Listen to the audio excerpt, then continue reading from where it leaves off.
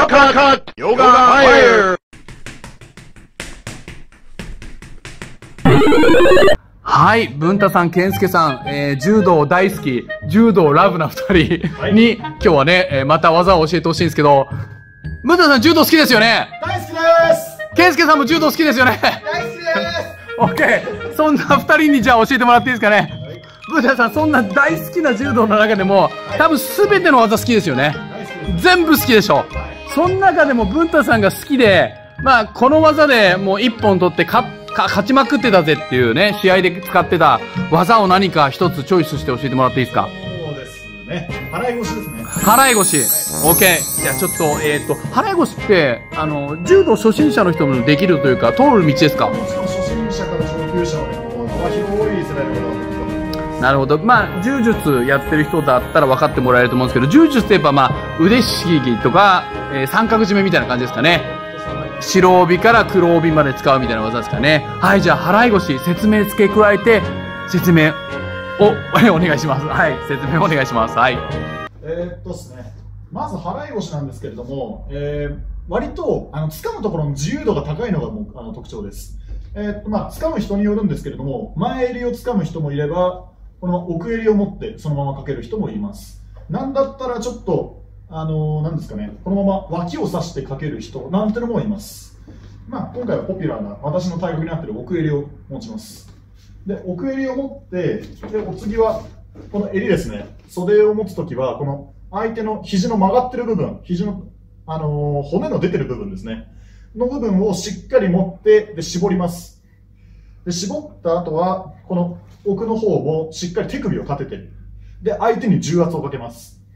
で、相手に体重をしっかり乗せて、この角度からやるのが結構、あ基本的にはポピュラーなやり方だと思います。では、えーっと、投げの方に入っていきます。投げに入る際は、必ず一歩引きます。まあ、もしくはもう最初から引いた状態から始めるのもありです。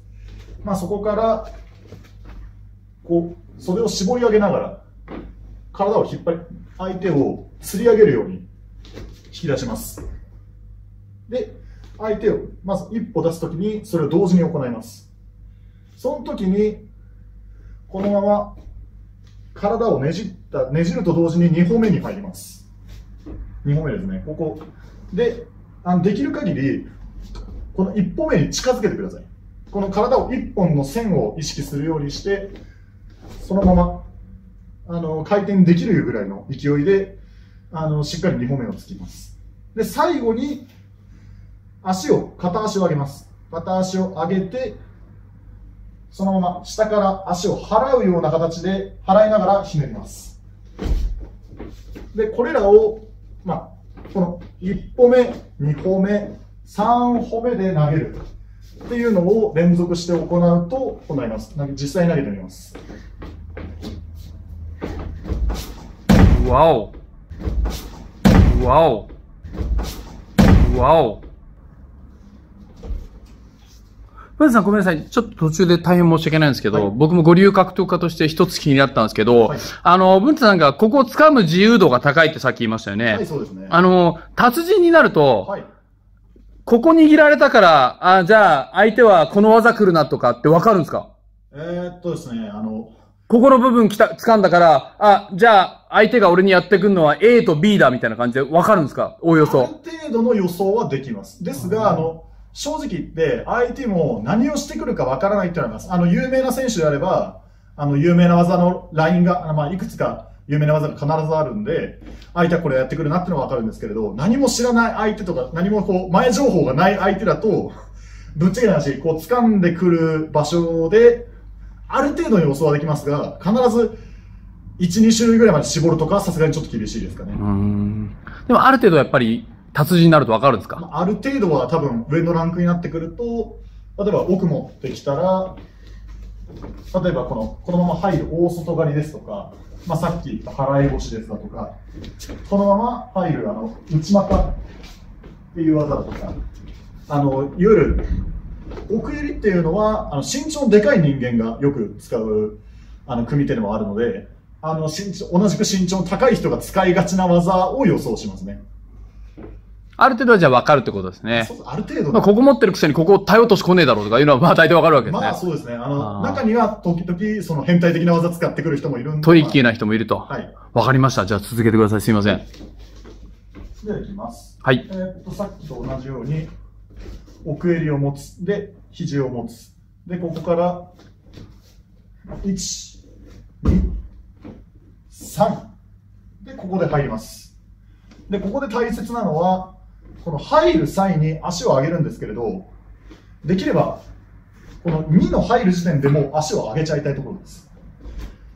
で、なぜかっていうと、これは正直あの重心移動が大切になってきます。あの、基本的に片足1本でかける技なので、最初の1歩目から2歩目への重心移動がしっかりできてないと、あの、まあ、状態がぶれてしまって、で、結局、技の発生が遅くなってしまって、相手に感づかれて、防がれてしまうっていうのがよくわかります。なので、1、2、3。で、これを、この1、2、3をできればもう一気に、1ぐらいで入れるようになれば、一人前だと言います。健介さんもこれ得意ですか？払い腰はでもあんまりやらないですね、僕は。や体が割とちっちゃい方なあこれ、お大きい人が、身長高い人が得意な技ですか、あのー向いてる技ですか、まあ、平均的に見ると、あの、どちらかというと体が大きい人間だとか、力が強い人間だとか、あの、そういった人がよく好む傾向にあります、じゃあ、ね。ブントさんは向いてるわけですね。まあまあまあ、そうですね。はい。力が強い。身長もでかいと。もう、ミスター払い腰みたいな感じなわけですね。じゃあ、ブントさん、もう一回お願いしていいですかね？はいもう一回じゃあ説明はなしではい、スパッとかけてもらっていいですかね？はい。いきます。よしあー、文太さん。これを試合で決めて、一本って言われたら、まあ確かに気持ちいいですよいねや、。もうスカッとしますよ。スカッとしますよね。これ逆に文太さん、これやられて負けた時あります？あります、あります。はい。どうですか？逆にどういう、僕あの、その柔道で、ま、柔道試合出た時ないんで、はい柔道で負けた時どんな気分になるかっていうのがわかんないですけどどうなんですか？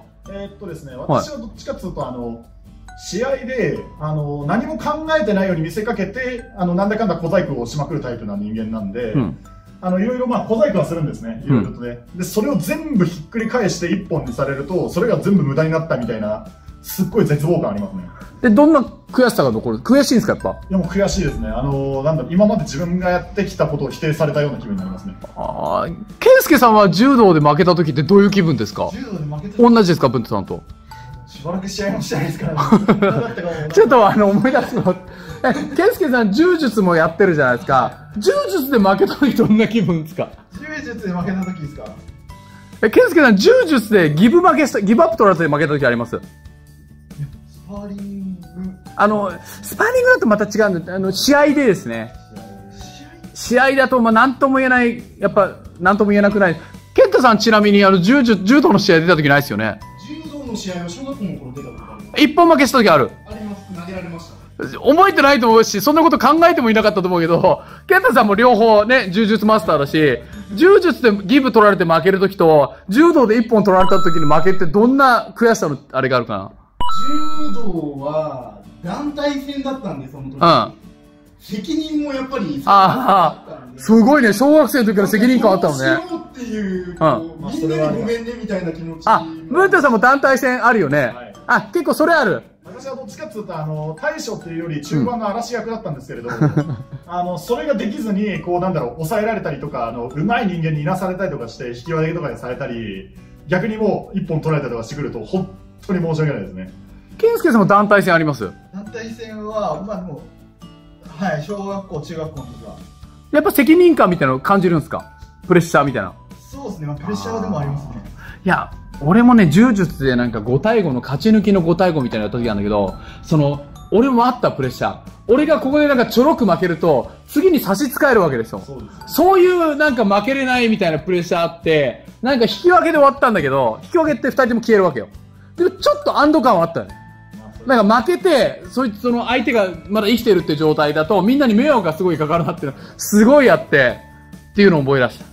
ただ俺が一番何知りたかったかっていうと、さっきも言った通り、柔術って関節取らってギブアップしましたっていうのと、柔道でさっきの文太さんの払い腰みたいにスパッと投げられて一本って言って負けた時の、単純に悔しさの種類を知ってる人に聞きたいんだよね。あとりあえず今日はいないってことでまた文太さんもだって柔術、まああんま試合した時もないし、ギブした時ないよねま。あまあまあどうなんかね。やっぱ、ケントさん柔術の試合ギブってある？あ何回もありますね。俺ね、柔術の試合って俺多分ね、おそらく3回なんだよ。今覚えてる限り。で、グラップリングで俺2回なんだよね。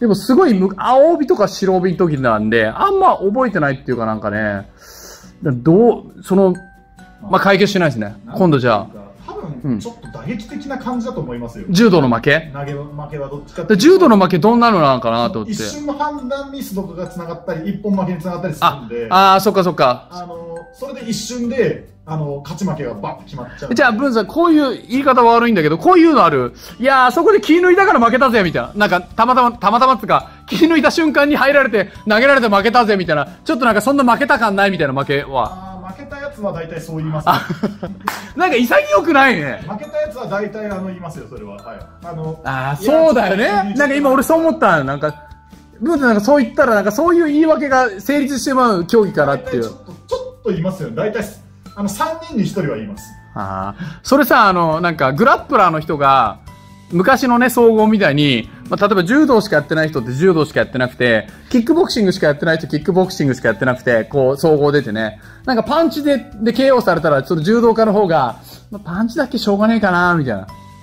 特に逆にキックボクサーの方もなんか関節取られて負けたら、もうなんかそんなに入ってないのにすぐギブして、まあ関節だからしょうがねえよな、みたいな。なんかお互い言い訳が成立するみたいな雰囲気があるのね。あのなんだろうどっちかあのなんだろうラッキーパンチじゃないですけれど、うんあの一気にいいのバチーンって当たって、で、ああの KO されても、結構俺は負けてねみたいなこと言うやつ人多いじゃないですか。なんかそれはなんかありますね。俺はまだ負けてないえじゃあ柔道もその一瞬気抜いた時に相手が来たから負けたみたいになるの？ありますね。ちょっとまあ。でもそれは相手のうまさだね、実際ねねだって相手が抜いた時に入ってきたわけだし。じゃあもうずっと気入ってるところにむもうね、文太さんみたいにずっと攻めてきて、バッて投げられるっていう実力差もあるんだ。まあ、あのーある程度の実力差は多分必要になると思いますけど、多分あるんじゃないですかね。ああ、そっかあれだよね、けどね柔術ってさ、ギブ取られて負ければさ、もう、もう負けじゃん。そうですねなんか、自分で分かってるじゃん。だって、自分で負けましたって言ってるわけだから、そういう意味では柔術のが、なんつうかな、潔いというか、本人の問題じゃなく、言い訳ができない。そこ俺結構好きかな。まあそうですね。そこは間違いないと思います。で、ブッダさんがさっき言ったように何とも言えないあれが残るじゃないけど、負けた時も、その、全く関係ないんだけど、もう全人格を否定されたら、それってでも、競技って大体そうなのかな。まあそうですね。であの、ゴルフ、ゴルフでもなんでもそうなのかな、テニスとかも、全然関係ないんだけど、そのテニスとかゴルフ以外のとこでも、俺はダメだ、みたいになるのかね。ありますね。結構柔術負けて俺も、俺はダメ、俺って人間はダメだ、みたいなの結構何回もなったけど、ムーさんもそれあるんだ。ありますあります。柔道で負けて、もう、おもう、文太はダメだ、みたいな。いやもうありますよ普通にそっか。それでも、やっぱ文太さんが柔道好きな理由って何なの？まああのーそうですね。あのやっぱ正直言って、自分が強くなれたきっかけが柔道だからまだ恩返しができないこともありますし、うん。まあ、もっと強くなりたいからっていうのが一番、まあ、まだ強くなるはい、まだ強くなんだ。あの一回もう本当に天井見ちゃったんでその天井に追いつけるようにっていうふうになっちゃいました親友の健介さんから見てどうですか？文太さんまだ強くなれますか？もちろんまだまだまだまだね、山登りますよね。まだ3合目ぐらいですよね。はい文太さんじゃあ、健介さんもそう言ってくれてるんで、はい今後とも柔道、柔らの道を極めてください。ありがとうございますはい、ありがとうございました。はいキックボクシング楽しい格闘技楽しい格闘技やると俺みたいにモテるよ。俺たちと一緒に格闘技やろうよ。せーの。チャンネル登録。よろしく